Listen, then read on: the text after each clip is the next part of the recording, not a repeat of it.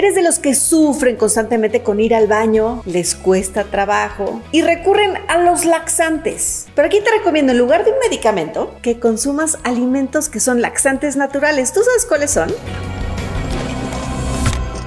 Los laxantes para muchos es el primer plan de choque, pero a la larga puede empeorar el problema. De entrada necesitas saber qué hábito está ocasionando que no tengas una buena regularidad intestinal. Lo que sí es seguro necesitas aumentar tu consumo de fibra. Por ejemplo, el kiwi. Cada 100 gramos de esta fruta aporta 1.8 gramos de fibra. También pueden ser las aceitunas, que estas aportan 2.6 gramos de fibra por cada 100 gramos. Así que la recomendación es que consumas de 7 a 8 aceitunas al día, sobre todo para combatir el estreñimiento de manera eficaz. La alcachofa contiene inulina, que esta es una sustancia que potencia el crecimiento de la flora bacteriana y eso ayuda a regular el tránsito intestinal. Otra que es muy conocida son las ciruelas, las normales y las ciruelas pasa, que estas últimas aportan 15 gramos de fibra. La dosis recomendada son 6 ciruelas pasa, preferiblemente por las mañanas. En cuanto a los frutos secos, las almendras tienen una muy buena cantidad de fibra